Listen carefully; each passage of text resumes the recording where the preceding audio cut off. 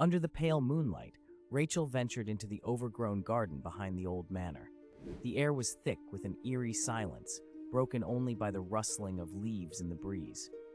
As she wandered deeper, a faint whisper danced on the wind, sending shivers down her spine. Ignoring her unease, Rachel followed the sound to a secluded corner where moonbeams revealed a shadowy figure standing among the roses. Frozen in fear, she watched as the figure turned towards her, its face obscured by darkness. With each step she took back, it mirrored her movements, drawing closer.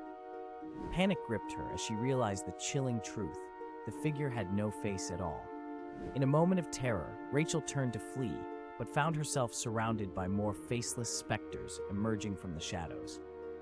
The whispers grew louder, filling her mind with haunting echoes. Just as she thought she was lost to the darkness, a blinding light pierced through the night. The figures dissipated like smoke, leaving Rachel trembling in the moonlit garden.